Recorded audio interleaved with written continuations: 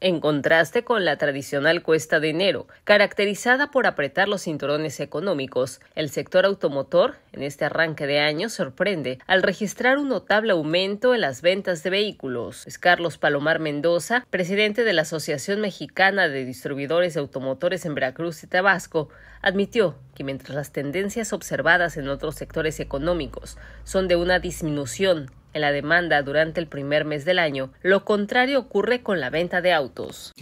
El sector automotor en este sentido eh, en algunas ocasiones se comporta distinto a lo normal y vemos que enero y febrero son, son meses fuertes. Nosotros lo atribuimos principalmente a que pues eh, es también una etapa como de renovación, ¿no? que la gente lo ve como una etapa de renovación y ya habiendo cerrado todos sus compromisos en el año en diciembre, bueno, ya eh, empiezan a valorar sus opciones de adquirir vehículos nuevos. También la realidad es que vienen los cambios de modelo, vienen...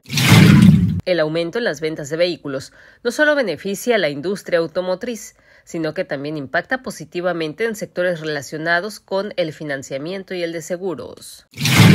La activación del mercado está eh, vigente y que además pues la adquisición de unidades nuevas, ya muchos modelos 2024 está siendo afortunadamente un éxito para, para todas las marcas y sumarle, bueno, la gran eh, oferta que existe con, con, toda la competencia que está habiendo ahora con, con la llegada de las marcas asiáticas, eh, bueno, pues eso va a incentivar también al sector automotor a crear mejores herramientas eh, y mejores maneras de atraer al público y, y, y pues lograr que mantengan vigentes con su marca.